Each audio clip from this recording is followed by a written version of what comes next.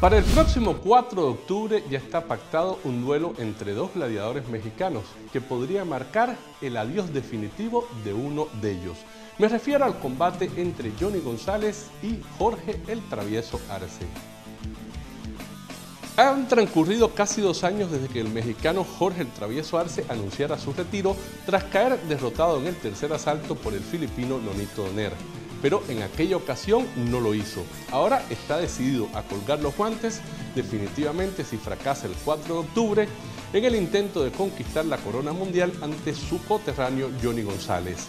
El travieso Arce, toda una institución, toda una gloria del boxeo mexicano, tiene récord de 64 victorias, 7 reveses y 2 empates y tendrá la oportunidad ante González de obtener la sexta corona mundial en divisiones diferentes, pues su oponente ostenta el título pluma del Consejo Mundial de Boxeo.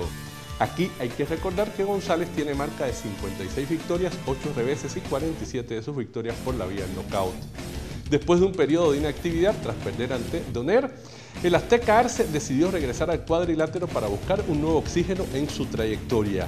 Desde entonces, el experimentado boxeador suma tres victorias. Arce ha tenido un campamento de preparación que se extiende por 12 semanas en Los Mochis, Sinaloa, su ciudad natal, y donde se realizará el combate ante González. Pero a los 35 años y con más de 70 combates en las filas rentadas, Arce sabe que la próxima confrontación será decisiva en su carrera. Pero, por otra parte, tendría un matiz interesante, pues el mismo Travieso afirma que en caso de salir victorioso deberá continuar al menos por dos peleas más, pues tiene firmado un contrato que bajo esa premisa lo obliga a mantenerse en los encordados. Recordemos que Johnny González es uno de los mejores boxeadores mexicanos del momento y que lo ratificó luego de vencer por la vía del knockout al mexicano radicado en Estados Unidos, Abner Mares. Amigos de Canal de Boxeo, el travieso Arce se juega su última carta contra Johnny González.